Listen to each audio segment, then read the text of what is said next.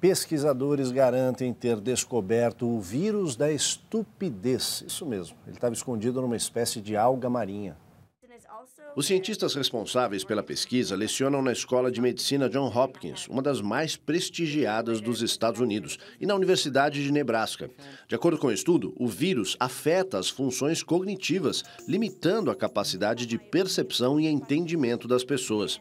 A descoberta ocorreu durante pesquisa sobre o uso de algas para tratamento de várias doenças.